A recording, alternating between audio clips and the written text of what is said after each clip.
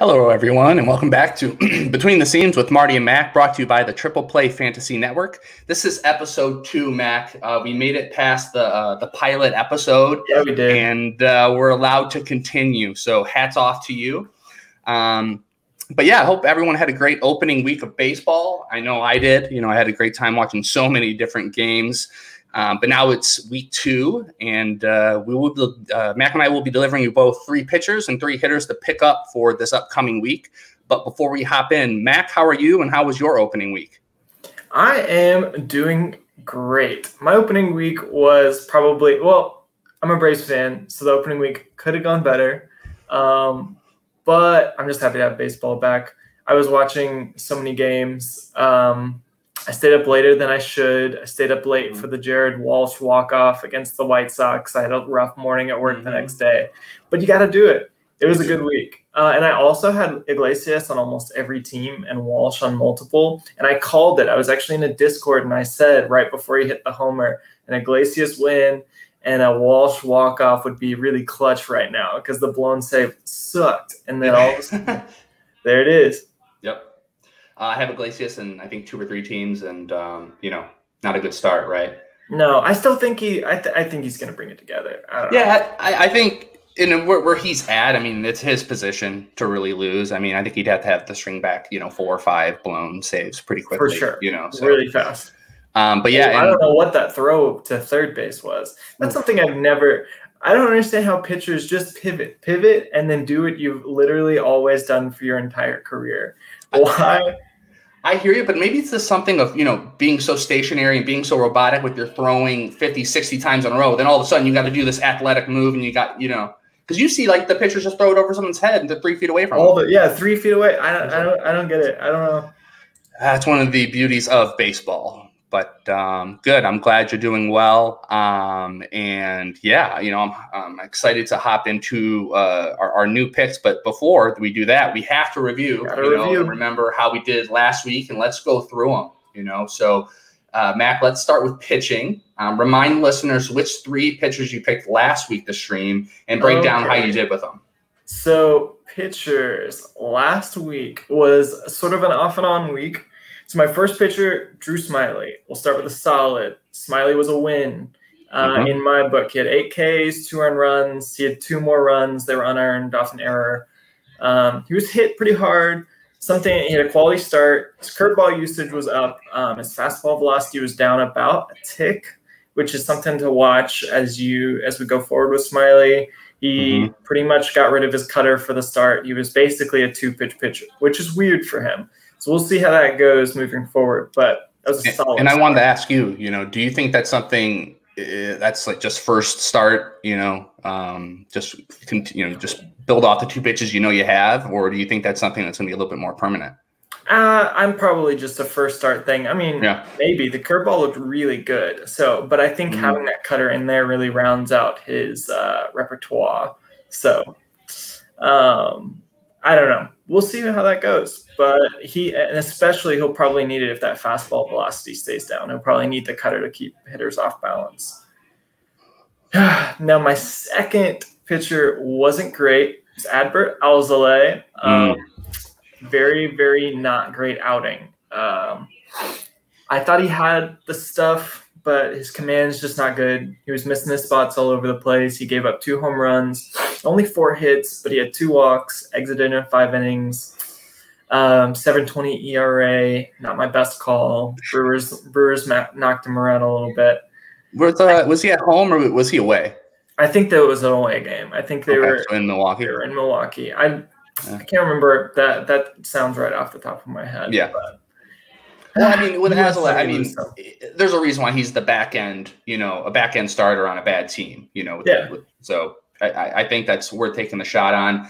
Um, I forgot who the fifth pitcher is on the Cubs. Who Alec Mills? You know, I, I, Alec I Mills, wasted he got some, the save recently.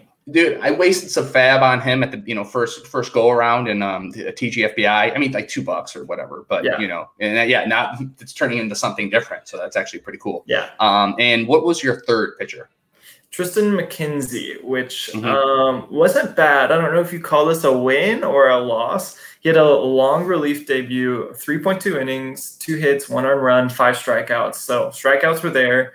Okay. Um, he did walk four people, which he's kind of like effectively wild. He's sort of in your Freddie Peralta, uh, sort of uh, got a lot of breaking pitches, hard fastball, doesn't know where it's going a lot of times. I still think that's a pretty good shot. And according to CBS, he's probably going to start on April 13th. So, okay. uh, I mean, he was a good long relief stream, racked up some Ks, decent ratios, but uh, didn't start. So, well, I mean, and, and this is actually something I wanted to go over with you, you know, as far as how we're going to track these. And I was thinking of just, you know, we can, you can say no if, if you hate it, but um, doing like a five by five roto league and literally yeah. just putting in you know, you have your team, I have my team. You put in the at bats, you put in the innings pitched, and then you know, um, and just build it that way. That way, you can something we can you know track and maybe yeah. put onto the website, which we yeah. can talk to uh, yeah. David about that. But sounds um, solid. Okay, um, awesome. So, and let me hop up to uh, my pitchers here, and yeah, when I look at my pitchers versus hitters, I you know the, the pitchers were a lot better. So uh, we'll start off with my first one, which was Ryan Yarbrough uh, versus the Marlins. Uh, 5.2 innings, zero earned runs, only three Ks, but that's pretty much what I expect from him. Um, a 0.71 WHIP.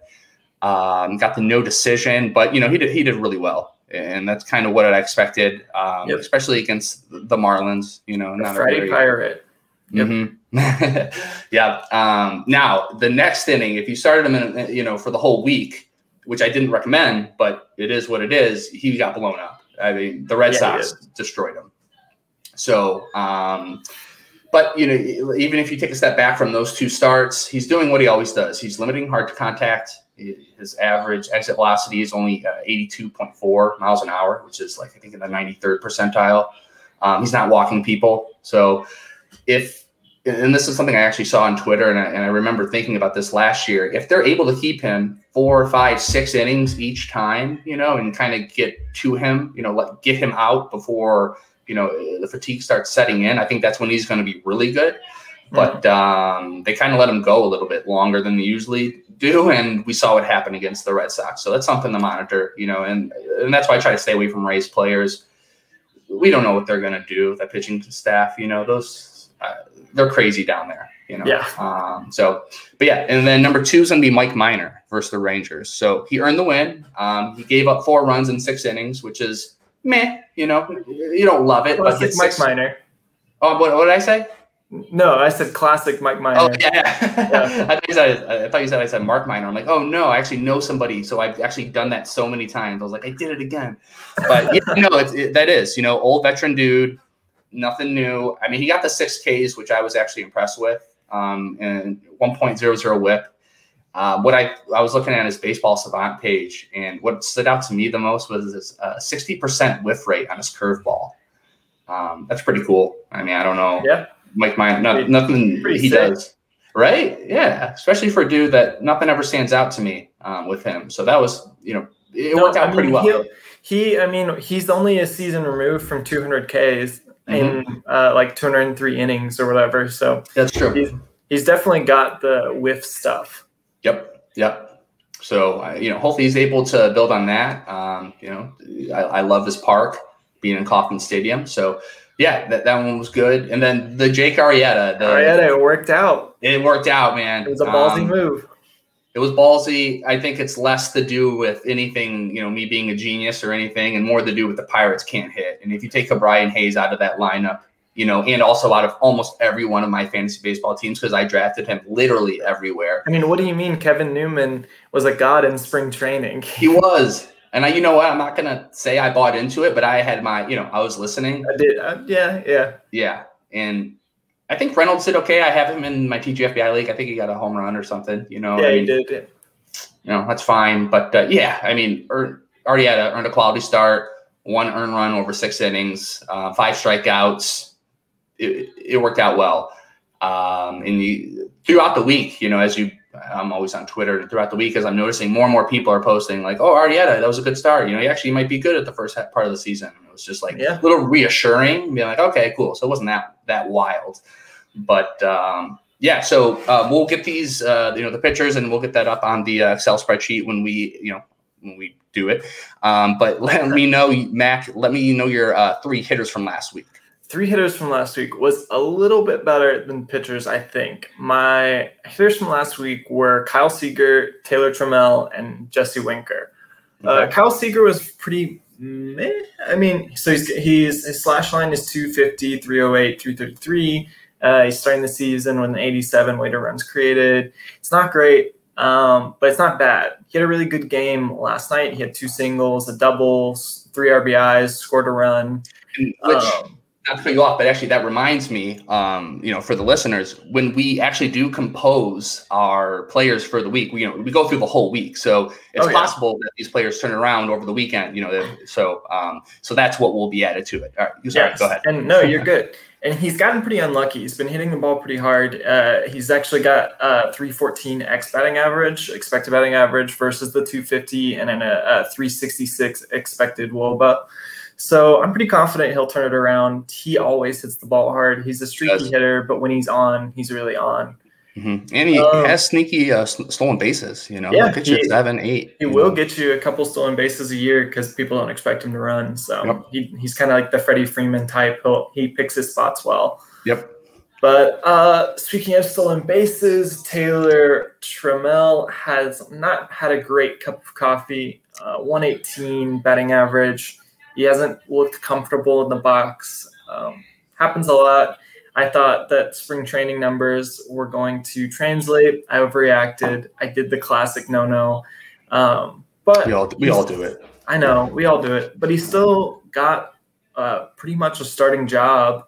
Um, the Mariners will do anything to keep Kelenic out, so they'll keep starting. Yeah, they they called up Bishop recently when uh, Fraley went down, so Yep. They got to get that service time in, which sucks, but it is what it is. Um, so Trammell was not the best pick, but he still has a chance to turn around, like you said, and he's still starting.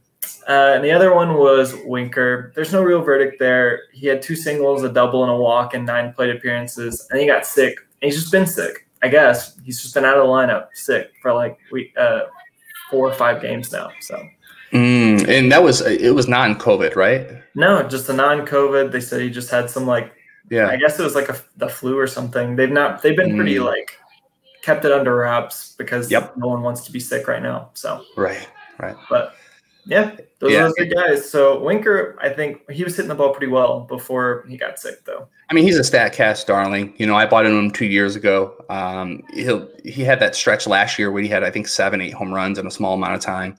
Yeah, so I, I, noticed that his roster percentage has gone down since he's kind of been an empty spot in people's rosters. So I mean, if yep. you get a chance to pick him up, I think he's still a solid guy to pick up.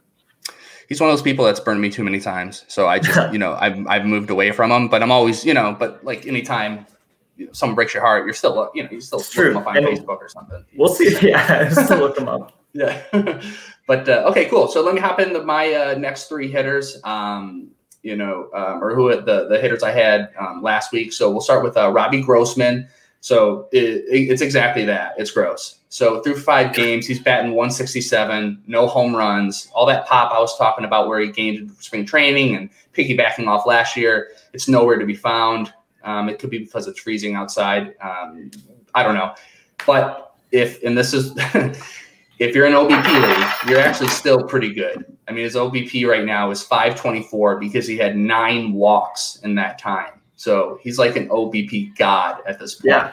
Yeah. At one point, he was like 0 for 18 with like nine walks or 500, yep. 500 OBP, zero batting average. It, it's something that I don't ever remember seeing, at least not that profound. Um, so it's actually pretty funny. Yeah. Um, but as a Tigers fan, we need more. So, um, and yeah. then it, and the, we, we have the inverse. I thought, you know, my pitching actually did well and my hitters were awful. So this is a good transition. So Kiki Hernandez and Mr. Enrique, um, 18 at bats, he's hitting one, you know, a buck 11 with only two hits. I mean, I don't, I don't think I have to analyze that. He's been awful. Yep. Um, that's it. Two hits and 18 at bats yep. he's already. I think they've already moved him out a little bit more from the um, from the leadoff as he he solely had that. I mean, he's like a career 297 on base percentage guy. Like I think he's like Yeah. maybe 300. I don't know. It's just a I don't know what they were thinking trying to put him in the leadoff spot to begin with. But yeah, I, I, maybe some of the Dodgers mystique, you know, just kind of just, you know, he's a champion, all that kind of stuff. yeah, know, I think the, Red narrative. Sox. I think the Red Sox are going to get burned. But I mean, the Verdugo hype. This is a hot take, but I think that Verdugo has just been Benintendi all over again. Uh, Okay. So I'm I gonna- don't know. That's a different. Yeah, write it down. I am. And we'll, we'll revisit this in September. We'll Oh going yeah. All right, good. Um, and then last is Corey Dickerson from the Marlins. So pretty much the same.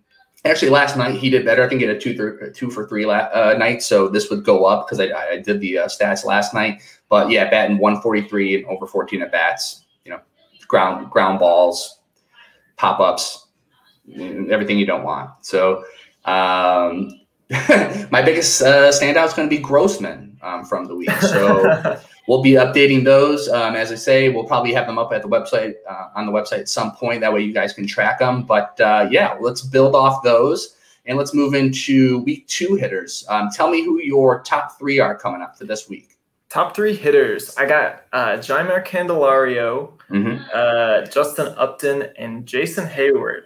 And I, um, I, I really debated Sam Hilliard. If you, uh, if you follow me on Twitter, Sam, I've been, I've been giving Sam some love, but I can't give the Rockies any love because they suck, and they just won't put him in the lineup. He's in the lineup today Yeah. though.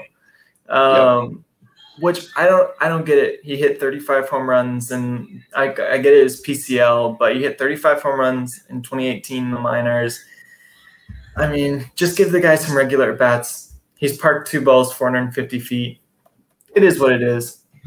I mean, that's the Rockies, right? I mean, there's so It's the many Rockies. players that we want that they wish they would just give them a, a full, you know, Just- a full plate of at bats. You know, uh, Garrett Hampson, uh, which we'll we'll touch on later. You know, that's somebody for me. Same exact thing.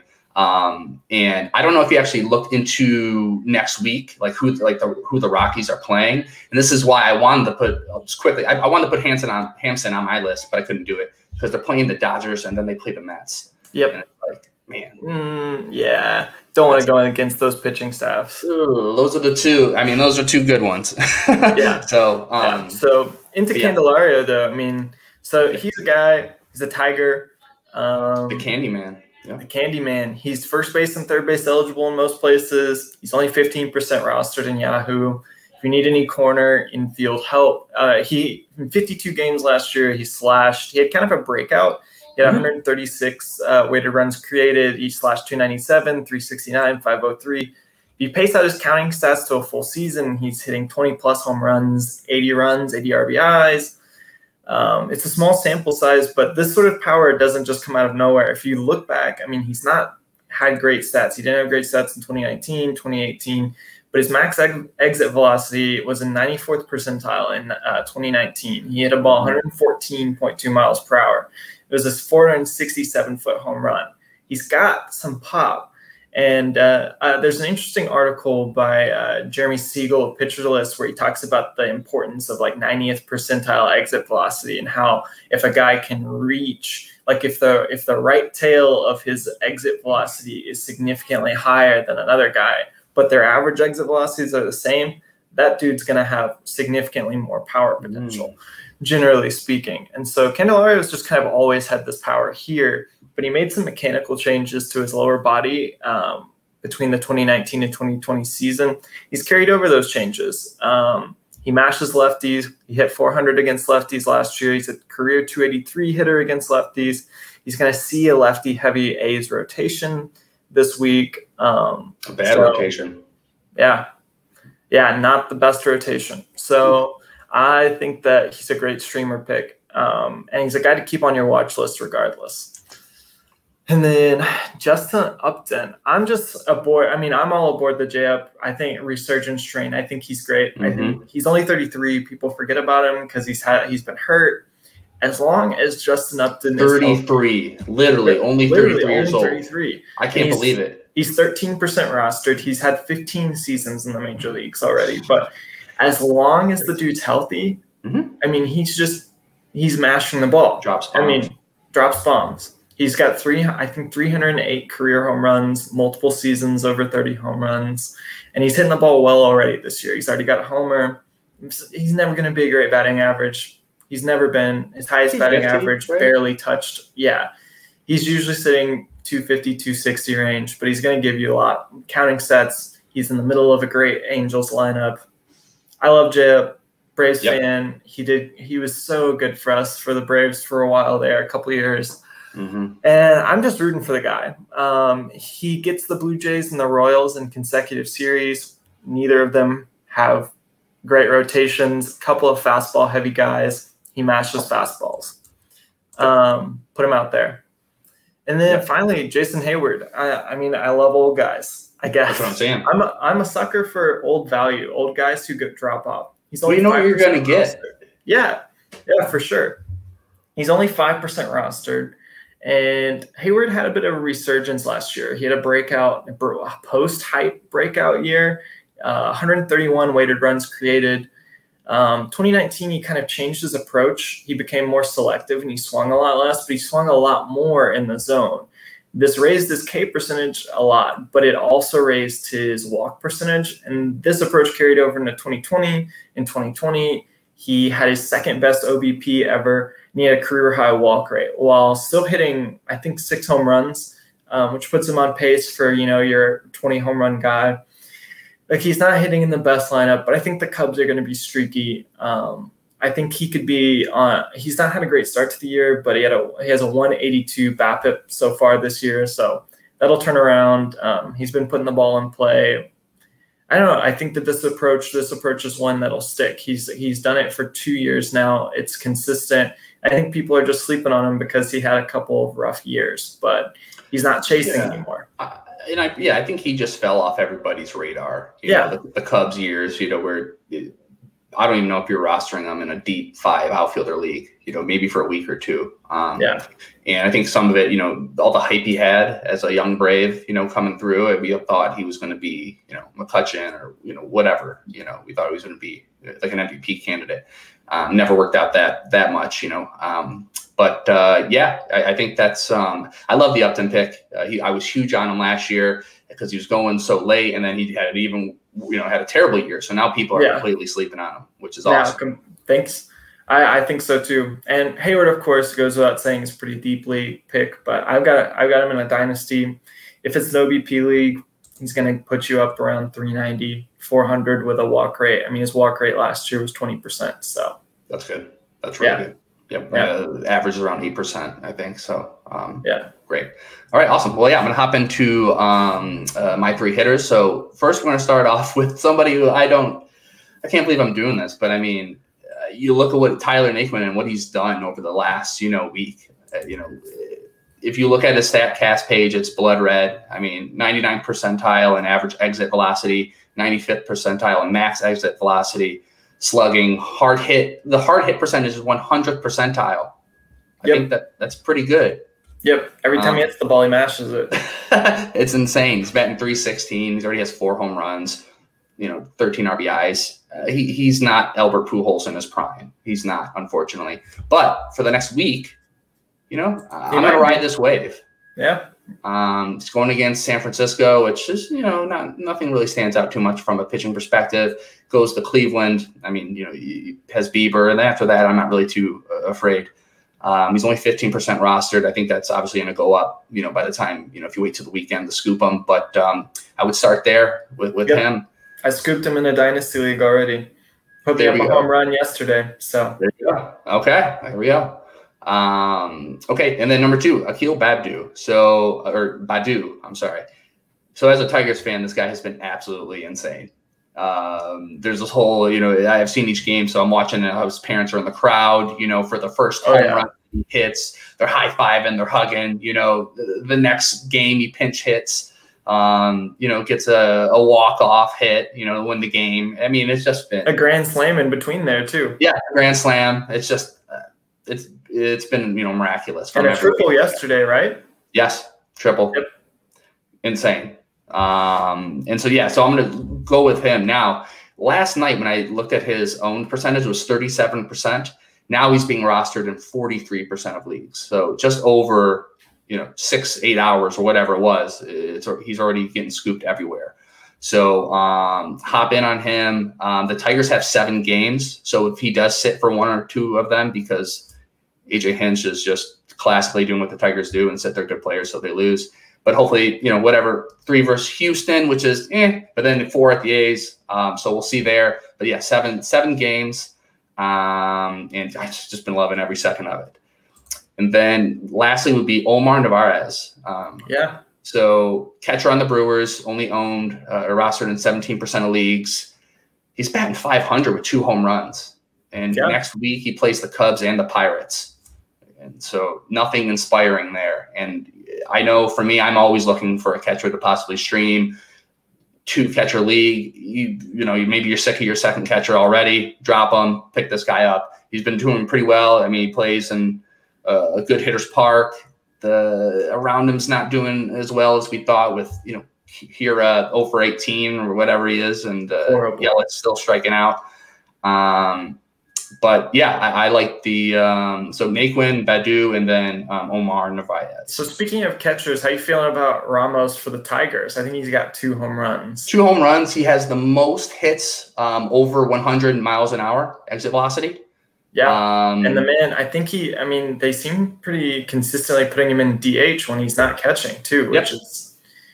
I mean, he, he's only he had an awful year last year, but the year before that, he was one of the top values at catcher. So yeah, and he's always batting somewhere around 300. You know, as a catcher uh, or as a fantasy owner, you love that. Um, he's still an awful defensive catcher. Horrible. I, it's his bat keeps him in the lineup it, that's the only thing. You're absolutely right. And and just you know briefly on that, I was ex- when we when the Tigers signed him, I was excited that we have a bat. You know, because um, that's probably one of our better bats just automatically. But I was bummed for the development of our young pitching staff and having to deal with that. Um, you know, yeah. it's a hurdle I don't want them to have to overcome, but it is what it is. But he's doing, yeah. I, hey, if you're gonna hit, you're going to play, especially in that lineup. So, yeah, I really liked what Ramos. And I want to do a quick shout out to Garrett Hampson, 53% rostered. He had three steals last night. Um, I wanted to put him in this, but he's playing the Dodgers and the Mets, so I cannot recommend him just yet. And it's the Rockies, so they're always doing crazy stuff. But uh, yeah, shout out to him. Yeah, and Hampson, you got to keep him on your radar. If you follow, if you call, follow Eric Cross on Twitter, mm-hmm. uh, literally the Hampson hype is still real. Good. Um, all right. Well, let's hop into the uh, the three pitchers for um, week two. Who, who are you streaming? All right. So I'm streaming uh, Skubal, Tarik Skubal, Jordan Montgomery, and Yusei Kikuchi. Those are my those are my three picks. Now let's start with Skubal because Skubal had a really good debut, debut season debut against Cleveland. He uh, pitched 5.1 innings. We went five and a third, four Ks, two earned runs. The Ks are a little low, which is interesting, especially against the relatively anemic Cleveland offense. Mm-hmm. But he's going to get Cleveland again this week. He's got a ton of K upside. I'm not expecting 4Ks to be an every start thing for him. In the minors, he was a 13 per K9 guy. Excuse me. And last year he was a 10. Uh, he had a 10.4 K9. Uh, if 4Ks over five innings isn't going to be the thing that you get from him usually. Something interesting is is that he ditched his changeup, which was his hardest hit secondary in 2020. Threw it like none at all yesterday, or not yesterday, last week in his last start. And he ditched his cutter. And he appears to be playing with a splitter, which he threw four times. Um, something that's interesting to watch going forward. I'm, I, I know I'm recommending him, especially against Cleveland, because um, they just don't have they have a ton of guys who strike out, and mm. I think that you could any given lineup. day, yeah, any given day you, you could mow through them.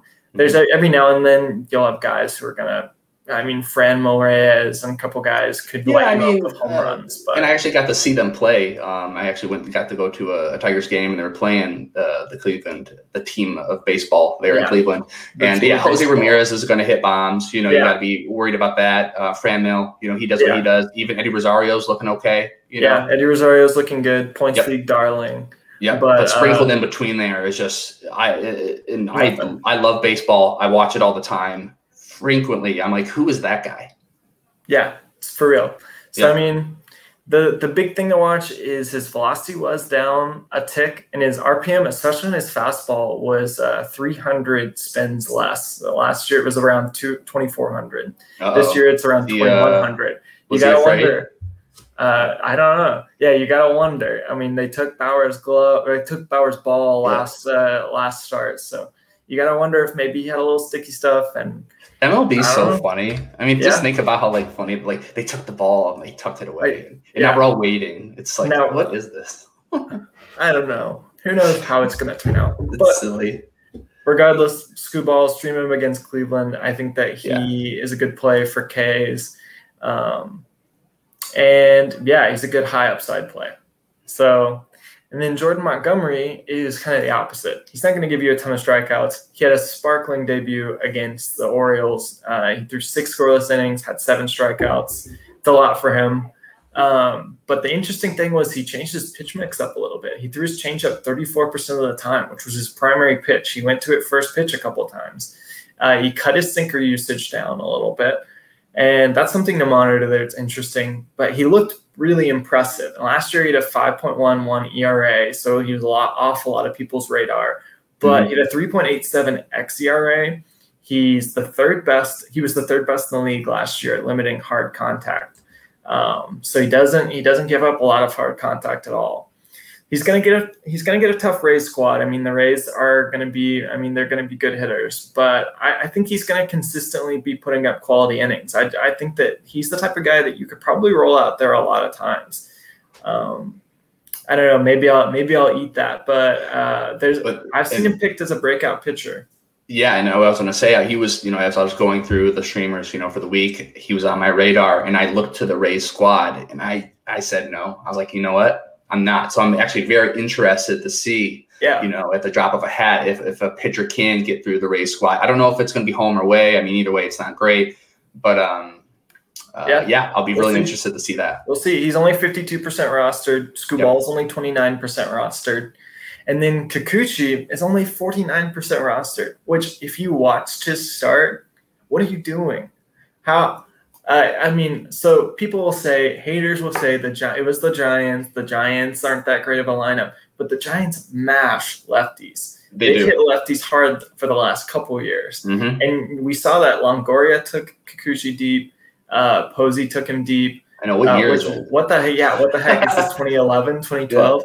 Yeah, uh, Longoria has been off to a crazy start, mm-hmm. but uh, you say doesn't really give up home runs. His first year in the league, he gave up quite a few, but last year he only had 0.6 home run per nine. I mean, he, he limits hard contact usually, um, at least the home run ball, pretty well. Um, he's going to get a twin squad this week that strikes out a lot.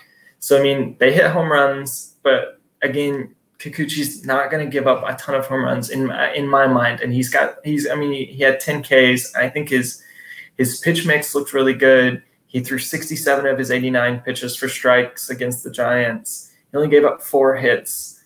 Um, and the Twins aren't great against left-handed pitchers. Last this year, in a small sample size, they look like they they've done pretty well against lefties. But last year, the Twins did significantly less damage against lefties.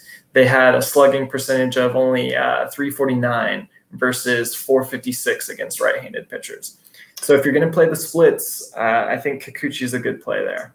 Yeah, and I, when the twin, you, know, you think of the Twins, I think a lot of people think back to the 2019 Twins where they broke every single record with the inflated ball. Now, last year they were ranked 18th in offense, so they're yeah. not this, you know, they're not. I mean, yeah, and if I mean Buxton looks good, but Sano is going to strike out. Yep. three out of four at bats. Yeah, it was like 35 percent of the time minimum. Yeah. so I mean, you've got guys yeah. in that line. I mean, it's just not that. It's I just don't think it's that. Uh, you're right. It's not a super powerhouse of a lineup. Awesome. So yeah, so Skubal, Montgomery, and then Kikuchi, and round out your three, and then I'll uh, quickly hop into mine here, and we're gonna start out with Steven Matz. So the uninspiring, but now all of a sudden I'm buying it. Steven yeah. What What in the world was that? Ugh, it was pretty insane. Um, I just it, it, when you look at it, what one, uh, what yeah, you got the win, nine strikeouts over six point one innings. Yeah. I mean, that's the okay. That's when you get my attention. All right, let's go. He's going against the Royals. He's going to be in Kauffman. The, the, the Blue Jays are mashing. He's only 34% rostered. So I think he's going to be a good start there. Um, number two is going to be Drew Smyly. and I ripped this out of your playbook last week. Yeah. And but I mean, hey, it was funny because I actually I was like, oh, Drew Smyly, and then I was going through last week's notes, and I'm like, oh, he did pick him. I'm like, I don't care, you know. he's only 43 percent rostered still somehow. I, I don't know, um, and he's going against the uh, Cubs next week, and over the for the uh, the first six games, the Cubs are batting 124 as a team. So I'm no genius, yeah. but I don't think that's good. Yeah. Um, they'll turn. I mean, obviously, we don't expect that. Baez will turn around. Rizzo, you know, Kris Bryant. Um, I have tons of Rizzo shares, and I actually paid twenty bucks for him in a dine or in a um, in, in a startup league. I don't know what I was thinking, but anyway, um, yeah. So Drew Smyly versus the uh, versus the Cubs, forty three percent rostered, and then lastly, and this is in from the uh, Jake Arrieta update desk. I'm going to go with Wade Miley. We're going to roll the dice, man. The old veteran pick, 3% rostered, two start pitcher versus the Giants and the Cleveland team of baseball. Um, hey, he's looking good so far. He didn't have a bad start. He didn't. Hey, uh, I would. I, I, I, was looking him up. I mean, hey, anytime you get six, you got a quality start his first game, and so yeah. they're like not worried about running week, him out there. Yeah, like I said last week, trust. I mean, there's you got to have guys teams that you trust to develop their pitchers. I mean, for me, mm-hmm. it's Cleveland, it's Cincy, it's yep. the Dodgers. There's three to four five teams in the league that you can just. I mean, they're they're gonna roll their guys out there, try to get them quality starts, and yep. yeah, they don't care. I mean, they're not saving Miley for anything. I mean, he's 34. His best years are, are probably behind him, you know, unless we see a revolution here. But but his um, best week is ahead of him. Yeah, there we go, and that's what I'm trying to say. Um, but yeah, his average exit velocity. I mean, it's obviously very small sample size. We're talking six innings, but it's in the 99th percentile. You know, he's limiting hard contact, which is the name of the game at this point. Um, he's not walking too many people. That's about all we can hope for. And Three percent roster, two starts. Maybe you don't play him against the Giants and you only go for him with Cleveland, but I'm going to roll him out there for both of them. Why not? There we go. All right. Well, hey, that's our three pitchers and three hitters for week two. Um, we're going to get going here, Christian. Before we do, remind our fans uh, where you can be reached and what you do. You can find me at J Christian Mack on Twitter. Um, I write for Pitcher List. I'm hopefully going to start writing for Triple Play. Yeah, we're all waiting. Uh, I haven't. What was that? I said we're all waiting on the know, uh, the next I know, article. I know. I haven't put anything out yet, but I will. I will. I just. It's not I don't know. My process is, it's just, I don't even know how to describe it. I just have to have a lightning bolt hit me. I, I can't just pump them out. Yep. Uh, yep. But yeah, I write for Pitcher List, write for Triple Play, create these videos. Find me at J Christian Mack. That's where I'll be. I'll probably be hyping up Sam Hilliard or Winker or someone on Twitter. Awesome, awesome. Yep, and as always, Mack, it's amazing uh, to sit here and talk baseball with you. Heck yeah. Um, Marty underscore Tallman on the uh, the Twitter machine here. I write at uh, Triple Play Fantasy. I'll be coming up with an article, my five biggest overreactions from Week One. So keep an eye out on that. Have you seen the just real quick? Have you seen the um the graphics that are being done for Triple Play? Yeah, they're you solid. Know? Oh my gosh. I'm so excited for them to come out. Um, so that's a little teaser for my upcoming um, article. But um, yeah, they're they're incredibly good. Um, and then also write for Motor City Bengals, lead fantasy baseball analyst there. Um, you can find me on uh, Twitter, like I said. But yeah, we're gonna get going here. Um, look forward to going over our picks for next week. And uh, yeah, enjoy the baseball week. Goodbye, everybody. Bye, everyone.